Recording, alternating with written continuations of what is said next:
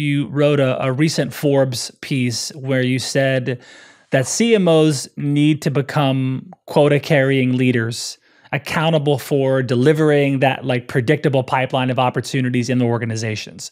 Can you tell us why it's so important for CMOs to do this? It's a piece that is controversial because normally Indeed. it's it's very controversial um, mm-hmm. because most people associate the CMO with with the brand you know with with the communications and and, and believe me those parts are very important uh, but the challenge with the cmo's uh, role is that we cover so many disciplines.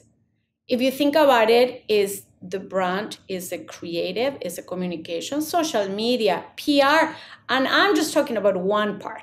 Then you get into everything that is demand generation, your campaigns, your events, your website, and, and so on. I could line I could line up maybe like 20, 30 different disciplines that I have to be looking after. As an economist, I know very well that there is unlimited desires for limited resources. So it's all about the prioritization.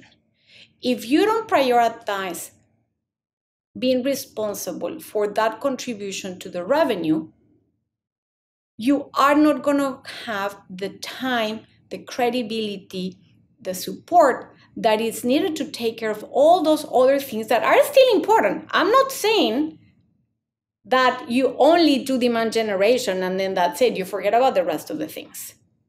What I'm saying is that you have to prioritize because, as we know now, the average is what, 25 months uh, tenure?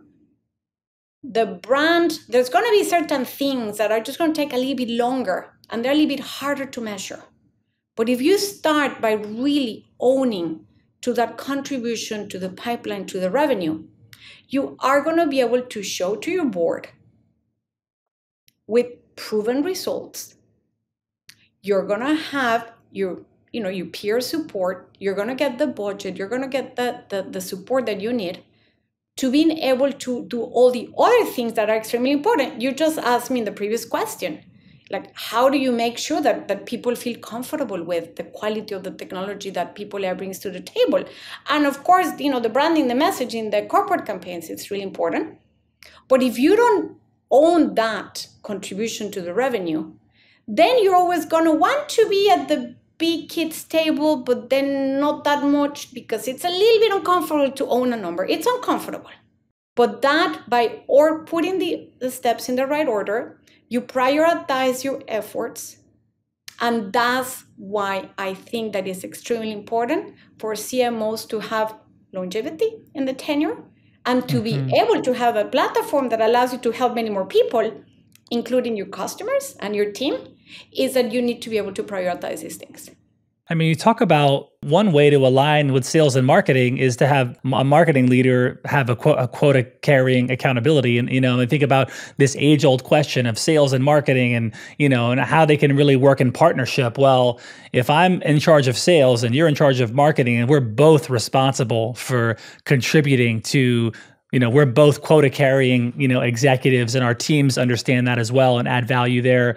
That's huge. I mean that's tremendous. Is that has that been pretty useful in aligning you know marketing and sales for you? And and and what other strategies are helpful when it comes to aligning marketing and sales? It's been phenomenal. As a matter of fact when we present to the to the board i present pipeline for everybody. We don't mm. make a differentiation of what sales was marketing. We have deeper analysis, of course, separately on what tactics are working, what channels are working. But that presentation is is done together, and I'm the one that presents that um, that portion. We have um, you know a weekly interlock between sales and marketing for that strategic. It's not a place where I, we just go and present and say, hey, this is the this is the you know changes to the brand, or this is changes to the creative, or these are the events are coming up.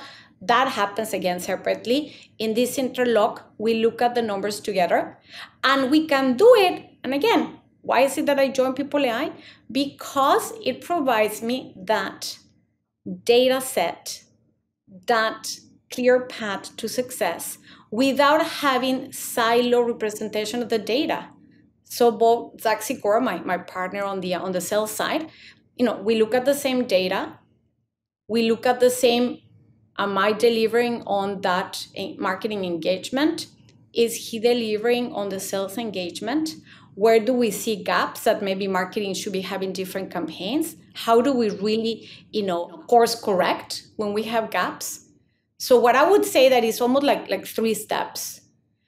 The data has to be a source of truth that both parties can, you know, can deliver. The accountability has to be in all the you know, on all the parties, and then the orchestration on the day to day it's really owned by again by both, both parties getting together on weekly basis to really mm. look at pipeline together Hey everyone, thanks for watching. This segment is brought to you by Salesforce. Salesforce brings marketing and engagement together. If you want to learn more, head over to salesforce.com forward slash marketing. And please subscribe to this channel for more marketing insights from the world's best marketing leaders across the Fortune 500 and beyond.